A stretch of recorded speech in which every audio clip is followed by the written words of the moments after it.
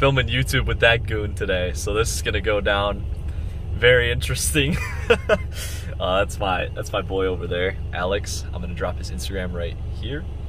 Uh, so we're gonna hopefully film a really good YouTube video today. We're gonna try and get a lot of neat angles, deadlift some heavy weight, take a lot of pre-workout, a lot of caffeine, and uh, have a good workout. So we're gonna see how it goes. I will see you on the flip side.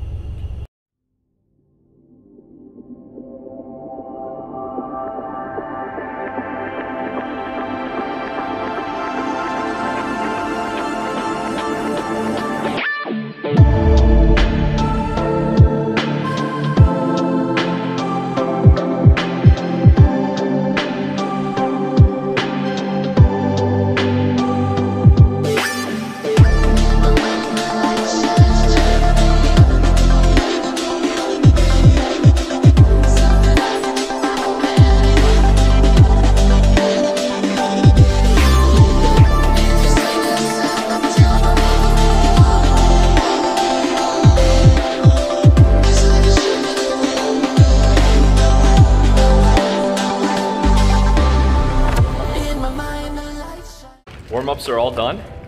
We're gonna get started with deadlifts real soon here. Just shaking on my pre. Scoop and a half of Godzilla today. I know I literally in the last video, I was like, yeah, one scoop gets me cracked. So heavy weight is about to get destroyed today. we'll see how it goes, but uh, lifting with Alex, when me and him lift together, we normally take a lot of caffeine and lift very heavy, stupid weights. So we're gonna see what we can do today. Um, I think it's gonna be good. It's gonna be a good deadlift. I think it's. Uh, I haven't had a heavy deadlift session in a while. Normally, normally I go to like 585 ish around there, and then I just call it. Um, so we're gonna try and pull some heavy, maybe a PR. We'll see. We'll see how it goes, but um, I'm gonna try and get some nice angles, and uh, I'll see you inside after I drink this.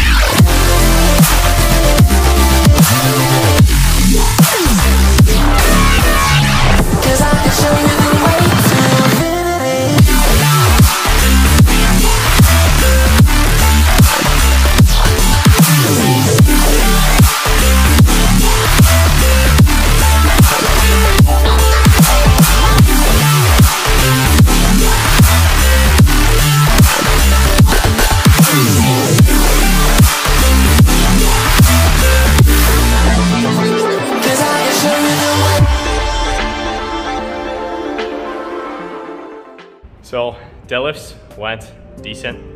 I wouldn't say they were very good, but they also weren't very bad. I uh, I hit 635. um, which is like my current max. And I did it relatively easy. Like I'm, I'm able to get it up. I think, I mean, actually every time I've attempted it, I've gotten it up at this point. So um, I'm able to do it consistently, but I attempted 655 afterwards just because it was, I mean, like 635 was not really like questionable. Like it had a, you know, lockout was a little bit difficult, but I was like, oh, why not? Let's go for it. You know, let's get a PR for the first deadlift video. That'd be sick. Um, and I broke ground on the right side and just a little bit, like maybe a hair on the left side. So, um, didn't get it. Did not PR, unfortunately. That would have been the title of the video if I definitely PR'd. Um, but uh, yeah, it was it was decent. Like I, I can't really complain because the last time I deadlifted, my right side was pinned. I couldn't get my right side up, and my left side came up. And now this time it's the opposite. So I don't really know why that's the case, but I just gotta you know attack deadlifts with more intensity. Um, Alex attempted 675, got it off the ground, and just dropped it because he's like, eh, it's not worth grinding out. So um, it is what it is. PRs would have been nice. It would have been hype for the first deadlift video, but we take what we can get. So um, moving forward, I'm probably just gonna stick with conventional. To be honest, I really would, I really want to chase a 675 sumo and possibly a 700, but I just, I don't know. I kind of want a 500 conventional more, so I got to grind towards that. I'm currently at a 435 conventional, which is horrible um, in comparison to my sumo, but different leverages, different movements, different muscles, so you know, we take what we can get. So uh, I'm gonna rock with conventional probably moving forward. But um, aside from that, uh, we're gonna get back to the rest of the workout and see how it goes.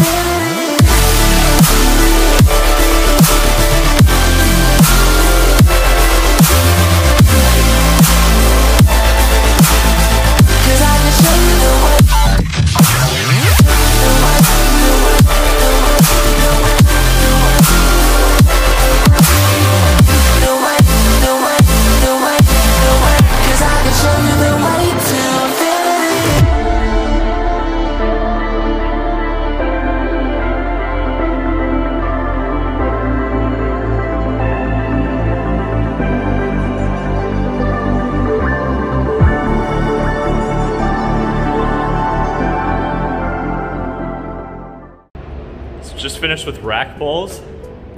Hands are absolutely obliterated. I, I avoided using straps until about six plates.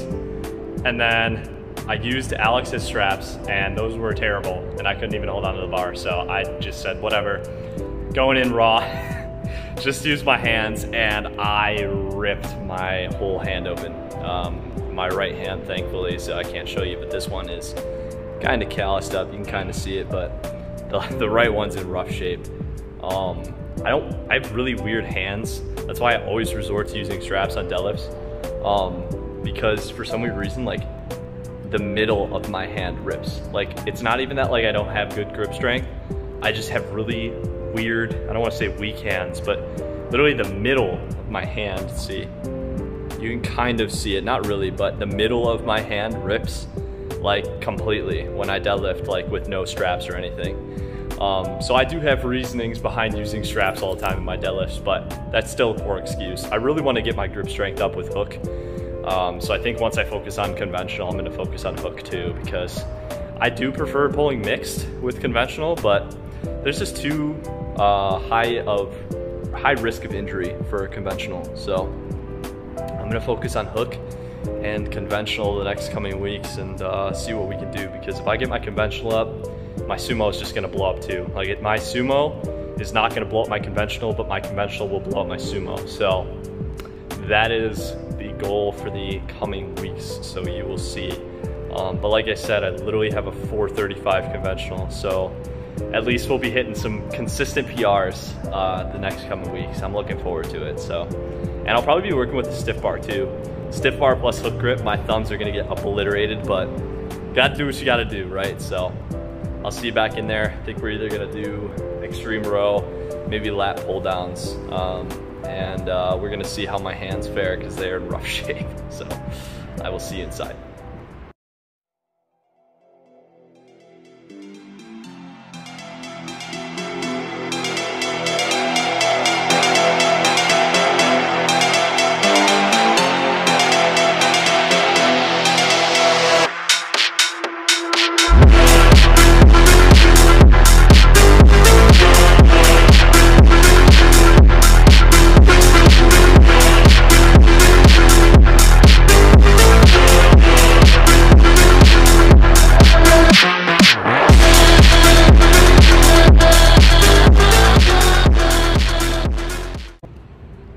Finished with Extreme Row. Uh, that machine is lit. I really like it. Um, I like. I have a love-hate relationship with it because you can adjust the weight so that you feel it at certain ranges of the lift. So because I struggle with locking out on deadlift, I swap the machine to feel the weight at the end range. So it's similar to a lockout. Um, and you go heavy on that and it's just brutal because you, you can't, you can hardly even do the full lift, right? The full range of motion because you're just focused on that lockout. So that's all done with. My grip is absolutely shot. So we are going to try and do hopefully two more movements, um, but we'll see how that goes because my grip is obliterated. I can hardly hold on to the machine handles and uh, try doing rope and it's just like, okay, all right, that stings. But we're gonna get it done because we are not going to call a workout just because we can't hold on to stuff. So we're just gonna grit through it and uh, I'll see you in a bit.